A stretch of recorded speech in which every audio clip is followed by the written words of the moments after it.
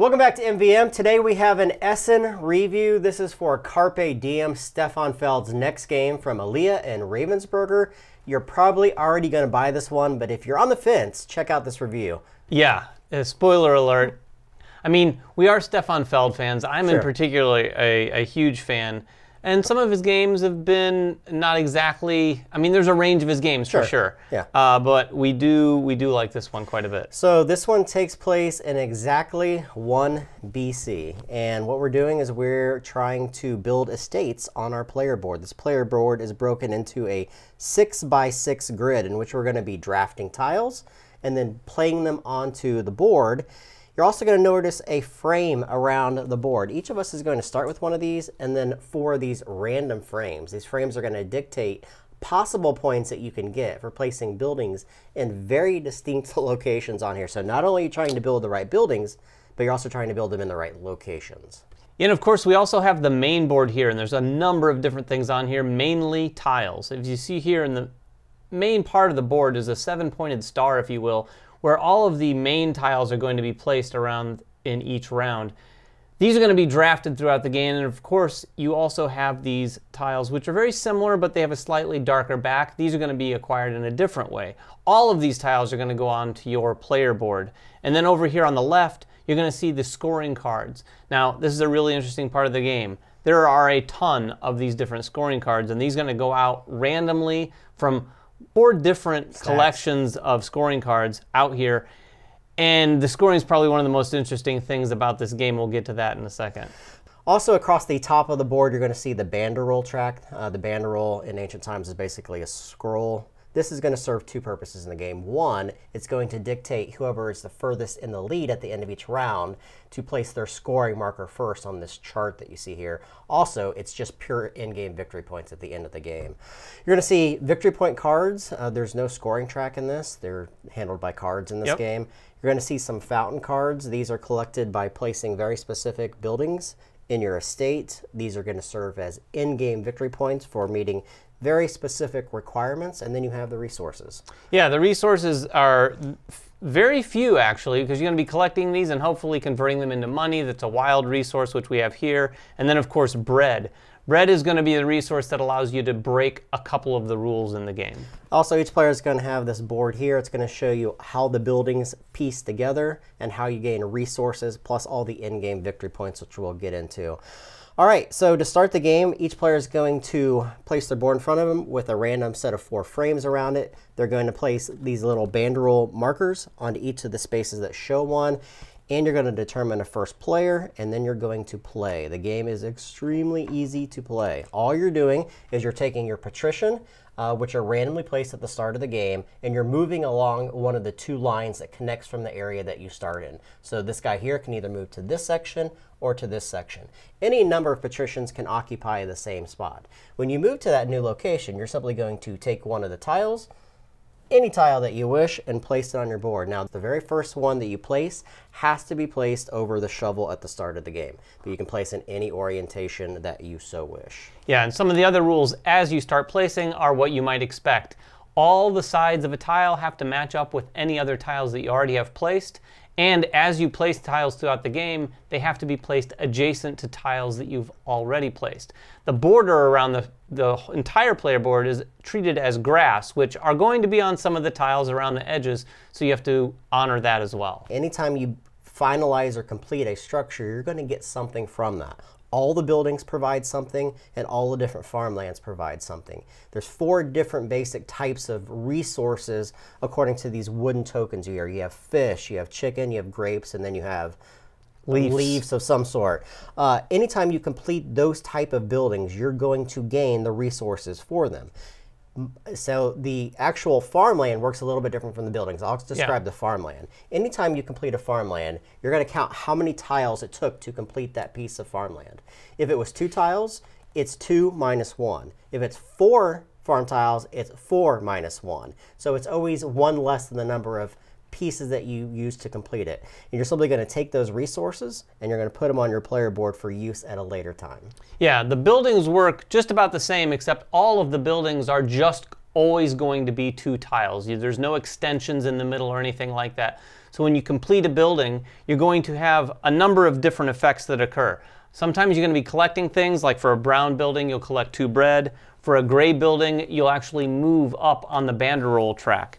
Uh, the yellow building lets you convert things into money, for instance, which I said again, money is the wild resource. And the green buildings are going to let you pick any one of these tiles down here to add to your player board itself. Now, there's one other type of building that can be extended, and that's your villa. Each player is going to have one or maybe multiple villas within their actual player board. These are the orange looking structures that you see here that have chimneys on yeah. them. These aren't giving you anything basically during the game, but they are allowed to be scored in some of the scoring cards. Also, they're going to be scored at the end of the game for how many chimneys you have in a completed villa. Yeah, they do add some fairly significant scoring at the end of the game, but like Jeremy said, throughout the game, they're not really going to give you much reward. There are three tiles that are single structures in and of themselves. You have a bread factory, you have fountains, and then you have market stalls. The bread factories obviously are going to give you a singular bread. They have grass all the way around them, so they can be placed just about anywhere. You have the market stalls, which are going to give you a single coin, and then you have the fountains, which are going to allow you to draw two cards from the fountain deck and keep one of them. Yeah, the fountain cards are going to basically give you end of game scoring. Now this is cool because it's going to be hidden from everyone else. Like Jeremy said, you take two of these, you take a look at them, you choose one to keep, and then you're going to put the other one on the bottom of the fountain pile. Now, if you do that again, if you acquire another fountain in your player board, you're going to draw two more the cool thing is you can discard the one that you took before. So you're always going to basically keep a progressively growing collection of fountain cards that are best suited for you. Also, anytime you build over any of the locations on your board that have one of the banderoles, you're going to remove that banderole and move up one on this track uh, as such. You also have the ability to move freely on this track here. At any given time, you can spend one bread to bypass the normal rules of following those bylines and go to any location that still have available tiles. Yeah, and that becomes key because on a seven-pointed star, it's going to take you a while to get around to certain areas. So using a bread at just the right time to get that tile you need. And these tiles are tight. You know, they come out randomly, and if there's only one yellow building and you need it, and so does your opponent, you better grab it fast. Now, you may ask yourself, well, what happens if you go to a location or the only locations that you can go to are empty? Well, aha, there's a rule for that. You simply are going to bounce off of that location and keep moving. So there are situations in the game as the round starts to come to a, a conclusion where you have multiple empty spaces. You need to be bouncing around until you find a spot that has a tile. And again, you're going to collect that tile. Now remember, you're trying to connect all these different buildings, all these different farmlands, and build out your farm structure or your villa structure.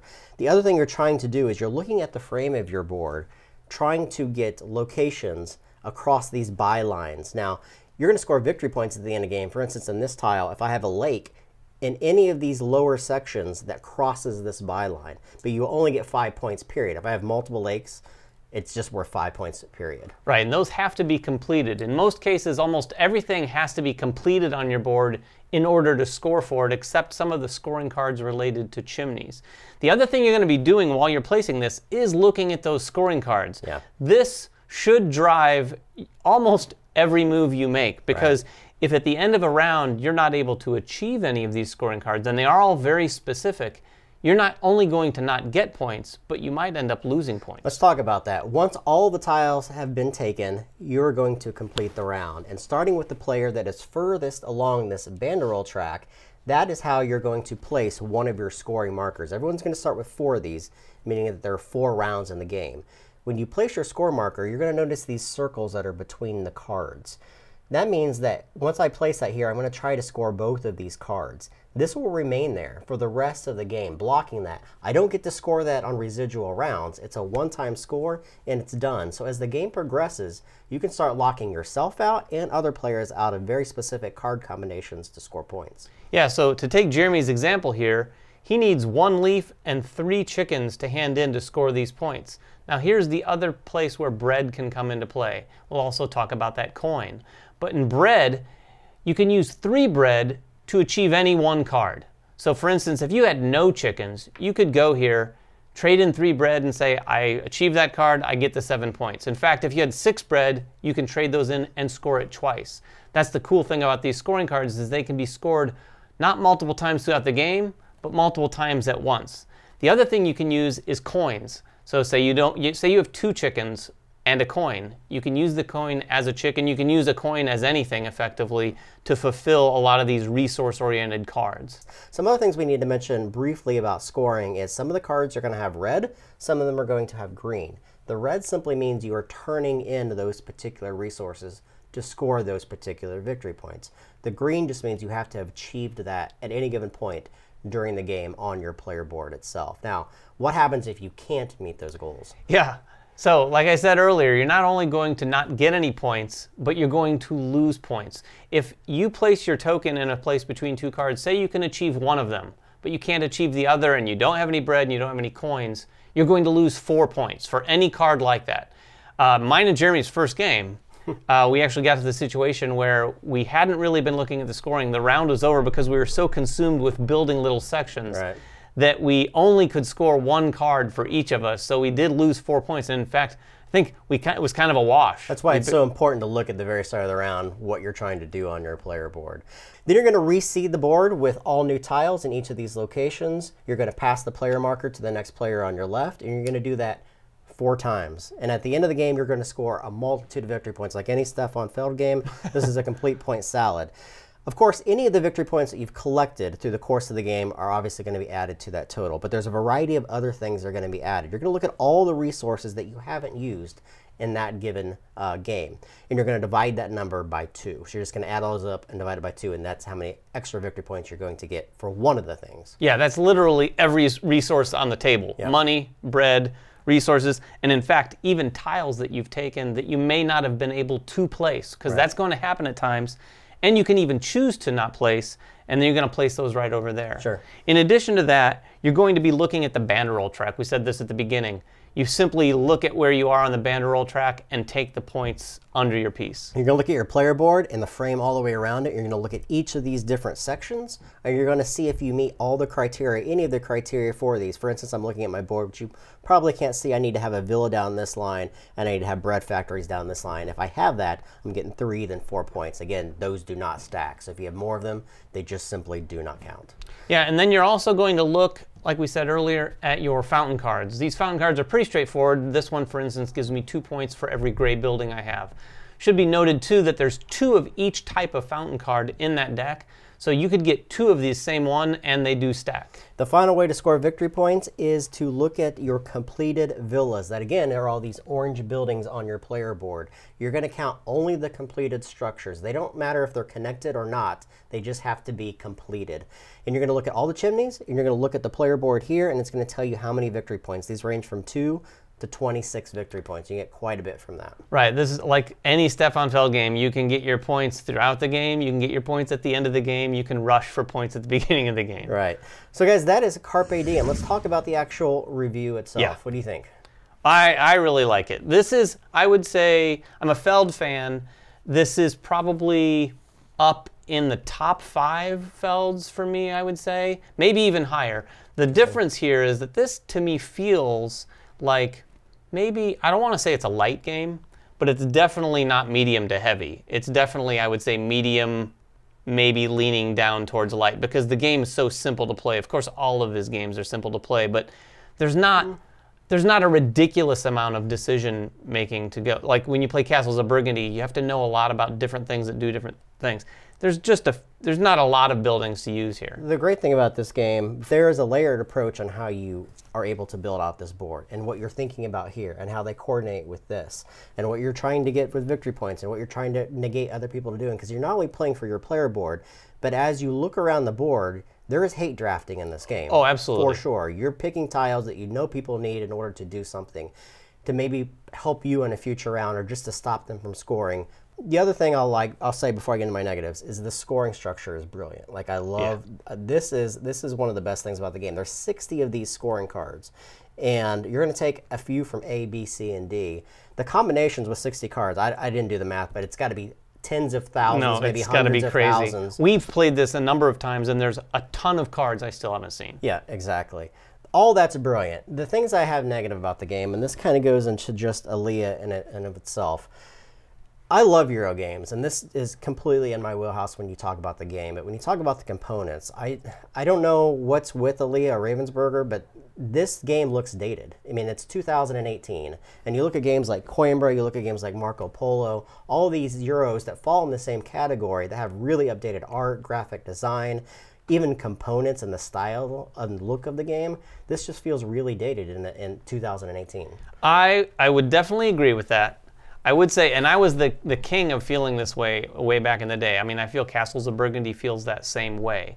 Um, it is interesting that it seems like they've really just embraced the idea of like, we're making these hardcore Euros. They're going to look like traditional Euros. Sure. Um, I do think, like, I know you and I agree on this. There's room to sort of bring Euros into the more modern market with different graphic design, better graphic design. This definitely does have that sort of like very basic, dry Euro look. Yeah. Um, one other thing I wanted to mention, sort of on my pros, and I think, and you might agree, this is probably the biggest pro for me. The variability of this game is completely off the charts. Sure. Like, not only the scoring cards, which we already talked about, but the way these player boards with these frames will line up, and the very basic fact that these tiles are going to come out in a very different fashion every single time. Now, there's not incredibly long laundry list of tiles. There's a very basic few. And as you play the game, you'll recognize there's a just a handful of a few, like you know these turns for the farmlands. There's only one of those in the entire stack of For tiles. For grapes, right? So for grapes and for the, the chicken coop and Yeah. things like that. So once you start to play, you'll really start to recognize sort of the rarity of some of these things. Um, but like I said, the variability is off the charts. Uh, I'm going to go back to the negatives. Uh, the I, I'm uh, blue green colorblind, and looking at these Oh, tiles is really hard. One of them is supposed to be darker. One of them is supposed to be lighter. Uh, I can kind of tell, but not really. These are really hard to to see. Uh, the other thing is a lot of the, or two of the buildings in particular, the bread and the one that allows you to convert are market, yeah. brown and then less brown and Yeah. they're really hard to see the you know even the, the look of them is exactly the same the shape is the same even the um, the pattern on them is the same. So when you play them there's been instances where i played a tile and i'm like oh i did this. And you're like no you Oh, you did- absolutely. you didn't complete that. You completed something else. I'm like okay well there went my strategy because the color's weird. Uh, the other one negative uh, is these cards. I don't know why they didn't do a scoring track. I, Yeah, I'm no not sure either. So cards Yeah, at the beginning of the game, everyone gets some victory points, and that's of course because you can lose points during scoring. Mm-hmm. But I don't see any reason why we couldn't have just positioned our player pieces around a scoring track either, because at the end of the game in particular, mm. it gets very cumbersome to sit there and sort out all of the points that you've scored, and we, you might run out of ones and threes, and you kind of have to keep track of some of those points in your head. So to be very clear on my part, I think the gameplay is is wonderful. It's probably going to hit both of our top tens Yeah. this year. I can't imagine it not being brilliant game. I don't like the graphic design. I don't like the components. That may be just me. I like classic Euros, but I think that the, the market needs to evolve a little bit more. So Yeah, agreed. The big the, the big takeaway here, I think, is despite the graphic design, like Yeah. many other games, this game's probably going to end up, like Jeremy said, on our top 10 list at the end of the year. So the gameplay is absolutely there. If you guys are at Essen, go get this one. I highly suggest it. Carpe Diem from Alea Ravensburger, two to four players, 60 minutes or less. It's yeah, fast. very fast-paced game. fast game. If you guys have any questions, make them in the comments below. Subscribe to us, follow us on Twitter, like us on Facebook, and everything else that we do, and we'll catch you guys next time. Bye bye.